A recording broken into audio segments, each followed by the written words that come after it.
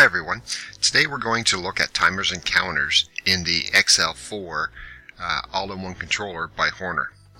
And the first thing we talk about when we talk about timers and counters is a timing chart. And that's really what the secret of using timers and counters is all about. On our website we have done previous threads on using um, timing or timers in the field and we talked about these uh, timing charts themselves. The same thing applies to the counters, and using counters um, um, will allow us to understand exactly what's going to happen in the field. So these two links, the secret of using timers and the secret of using counters, are going to be posted on our website later on. So back to the XL4, when we look at it, we um, will actually call up our Cscape software and up on my screen here, I have a time on, a timer. I have two of them actually. And you see the not T1 here will actually trigger uh, timer 1. And timer 1 has a uh, set value of 5 and it's a 1 second pulse rate. It will then turn on relay output 2. Relay output 2 then will fire timer 2 on for 5 seconds and then it will energize T1, which is then reset this one. So what I have is a flip-flop scenario. Um, so it'll be on for 5 seconds, then off for 5 seconds, on for 5 seconds, off for 5 seconds. So that's how that uh, sequence of these two timers worked. In order to program it, if I actually call it up by uh, double clicking it, you can see here, this is actually my timer going to my memory address, in this case here. Um, register 1. And register 1 um, uses 16-bit, that's what this one is here, plus a 16-bit, which is used internally. You can see my resolution is set for 1 second. However, I could change it to any of these other time bases. So 1 millisecond, 10 milliseconds, 100 milliseconds. You can see here I can have an on delay, off delay, or I can have it retentive. So it's really up to me how I want to program this timer in and the set point was set for 5 and that's a, just a straight integer or I could actually put a register in there to say what the set point is. So the other thing I can do is actually if I click on this I can actually change it to a 32 bit. However um, in my application here I don't need the 32 bit and keep in mind that still needs that additional 16 bit in order to operate with it. Let's cancel out of that. So that's actually how the timer works. And if I look at the this debug here, we can turn on the debug. And what it will do is actually show me what the current status is, and I'll turn this into the program mode. And what you can see here is this is timing up to 5, then it will reset that uh, relay, and then it will start timing again. 3, 4, 5, turns that output on, and keeps the output on for 5 seconds. So that's actually the timer. And if we actually look at the timing charts for this, here they are right here. So the on time, well, we'll have a, a set value here of 3. So there's my time base. Then we have our input. And our input turns on, it starts timing. As soon as it goes off, it stops. As soon as it turns on again, it starts again until it gets 3. It turns the output. As soon as the output goes off, the output will go off. Then we have an on delay retentive. Now with the retentive, it actually adds a reset into it. So we have our time base again. We have our input, our reset, and then our output. So here you can see our input goes on. We can start counting one, two, three. Um, then we turn the input off again.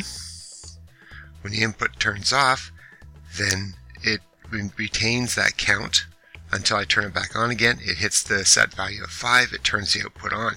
It will not reset until I actually get my reset signal. Then we have an off delay. Now the off delay basically works the same way.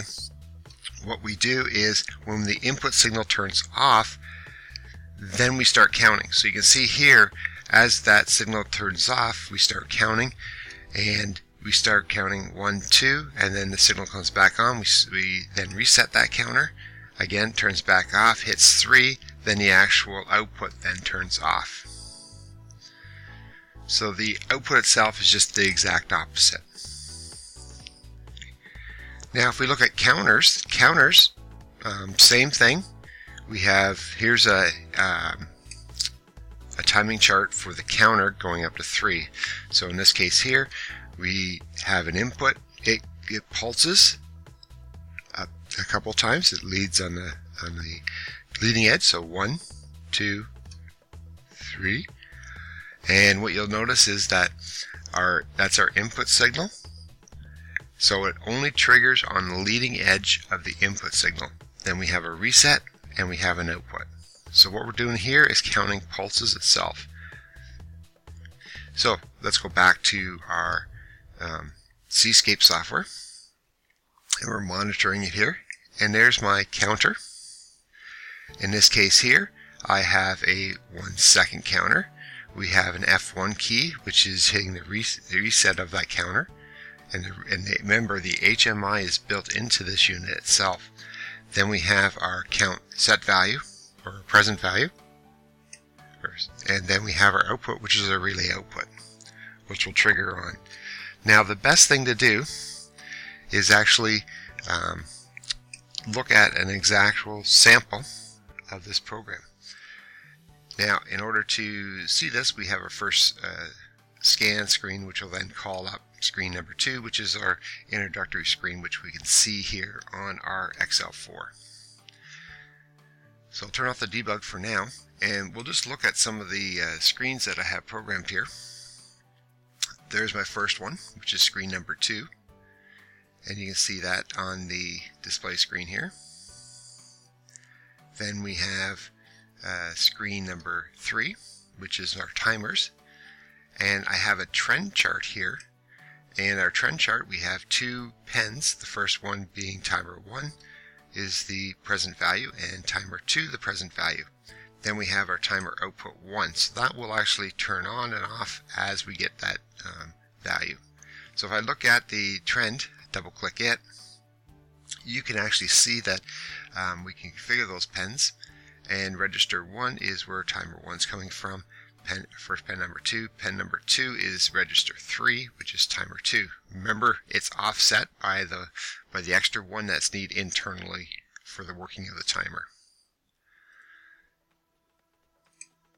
Then if we look at screen number 4, we have the counters. Again, the register th uh, 3 is a counter present value. And then the uh, counter set value is register 4. And again, we could look at the look at the configuration of the pens, and the first one register 5, and then we have the pen color red, and then we have our green for our set value. Okay, we'll just get out of that, back out of that, and we're back into our actual display. So if we actually going to run this program, we'll actually look at our, our screen here and we'll hit this begin. And there we have our timer and you can see we're timing up. So we hit the output, the output turns on and then it turns back off again. So again, you can see how this progresses. If we look at our counters, our counter, it goes by F1, so we'll hit that, it resets. You see we're going to now count up to our set value of 10, and then as soon as we hit that top line, it turns on, and it will keep counting until it reaches the top. Until we hit reset again, and then hits the, the uh, resets everything, then starts counting again up to 10, which then activates that output. Okay, if this has been helpful to you, please give us a thumbs up. And that's always appreciated. And it helps other people find this information so they too can learn all about the, um, the automation that we talk about. Also, please subscribe to our channel. You'll see a link after this video. And all the links and information that we just talked about is on our website at accautomation.ca. And while you're there, if you subscribe to our website, you will see receive two links, one for numbering systems and one for um, data collection. Right? And those two uh, uh, ebooks are yours for free. Okay, that's it. Thanks for watching.